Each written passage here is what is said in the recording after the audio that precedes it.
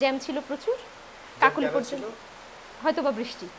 কারণ ঢাকা শহরে বৃষ্টি মানে হচ্ছে জ্যাম। আচ্ছা বৃষ্টি কি পছন্দ আপনার? খুব। ভীষণ।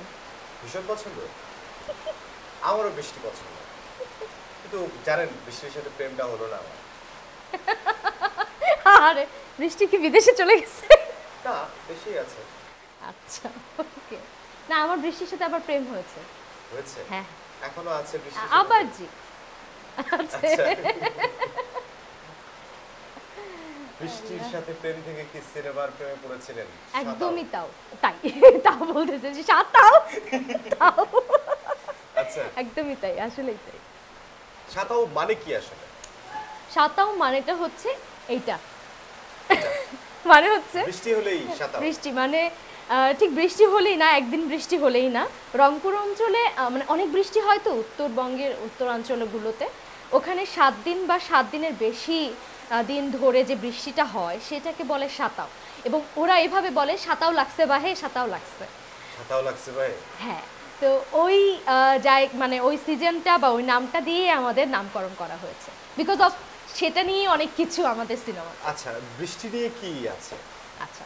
ট্রেলারে যেটা আমি দেখেছি আচ্ছা। আপনার অভিনয় আমার খুব ভালো লেগেছে। তারপর একটা গাভী দেখলাম। হ্যাঁ।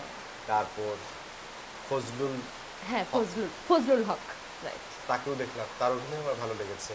নৌকা বাইস দেখলাম। যেটা ট্রেলারে ছোট ট্রেলারে দেখা ছোট ট্রেলার খুব খুব চমৎকার লেগেছে। সাতাও আমি বৃষ্টি দেখলাম না। আচ্ছা বন্যাটা দেখেছেন ওখানে ট্রেলারে হ্যাঁ। বন্যা? হ্যাঁ হ্যাঁ। আচ্ছা। বন্যা দেখেছি। বন্যাটা আচ্ছা সেটা হচ্ছে যে সাতাও যেহেতু অনেক দিন টানা বৃষ্টি হয়। তো বৃষ্টি হওয়ার ফলে রংপুর অঞ্চলে তখন বন্যাটা শুরু হয়। আচ্ছা। সেটা বর্ষাকালে আর কি বন্যাটা শুরু হয়। তখন এই জনজীবন একেবারে বিপর্যস্ত হয়ে যায় যারা তিস্তা পাড়ের মানুষ। ইনফ্যাক্ট আমরা শুটিং করেছি তিস্তা পাড়ে আত্রাইতে। একদমই তিস্তা পাড়ে ওখানে তিস্তা পাড়ে ব্রিজে তিস্তা পাড়ের একদম যাদের সত্যিকার অর্থেই বাড়ি আছে সেই বাড়িতেই আমরা শুটিং করেছি। কোনো সেট নির্মাণ করা হয়নি। ওই বাড়িতেই আমরা শুটিং করেছি তাদেরকে আলাদাভাবে একটা জায়গায় মানে থাকতে দেওয়া ছিল থাকতে দেওয়া হয়েছিল এবং ওই বাড়িটা আমরা ইউজ করেছি। তাদেরকে হোটেলে রেখে আপনারা তাদের বাড়ি তাদেরকে ভালো ভালো বাড়িতে রাখা হয়েছিল এরকম।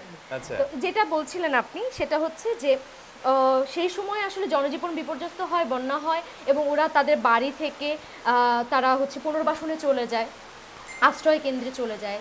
এই যে তাদের হচ্ছে গিয়ে পালিত পশু পাখি আছে গরু ছাগল যেগুলো আছে সেগুলো নিয়েই যাচ্ছে। কৃষকের ধানি জমি ডুবে যাচ্ছে। তাহলে ভীষণ রকমের ক্ষতি তো এক ধরনের। একটা দুর্যোগ। দুর্যোগ। তো এই সব কিছুই আসলে এই সিনেমাটাতে বা সাতাওতে মানে তুলে ধরা হয়েছে। আচ্ছা। তো যার কারণে নামকরণ করা হয়েছে সাতাও আচ্ছা আমি আবার ভাবলাম যে সিম্বলিক কোনো অর্থে ব্যবহার করা হয়েছে কিনা।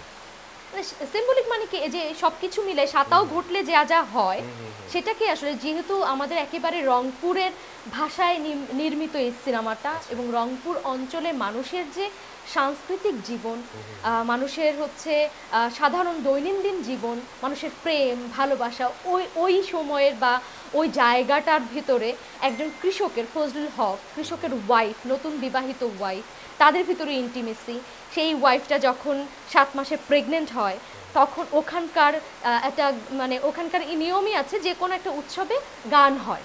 আচ্ছা। ধরেন সাত মাসে একটা গান থাকে। তারপর নতুন বলে দিলে কিন্তু আপনাকে আবার ডিরেক্টর আমি একদমই সব বলে দিচ্ছি না আচ্ছা। কিন্তু এটা অবশ্যই জানানো দরকার। মানুষের খুবই আগ্রহ যে এই যে সাতাও নামটা কেন? এটা তো প্রথম প্রশ্ন আমার থাকে। এটা সবাই আমাকে জিজ্ঞেস করছে। এই সাতাওকে যদি ব্যাখ্যা করতে যাই তখন দেখা যায় সব কিছু আমাকে বলে ফেলতে